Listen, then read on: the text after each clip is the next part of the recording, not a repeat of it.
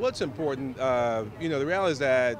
Marcia Fudge is not only the Secretary of Housing and Urban Development, she's also 13 in line to the presidency. I mean, we're, we're, we're talking about uh, the, the, the, designated survivor here, along with Majority Whip Clyburn, underscoring the importance of getting vaccinated and getting vaccinated now as the only way to get us out of this long, almost seeming, seemingly never-ending nightmare that's claimed over 600,000 Americans and millions across the globe. We can do it, but it can only happen if, in fact, we work together and get vaccinated.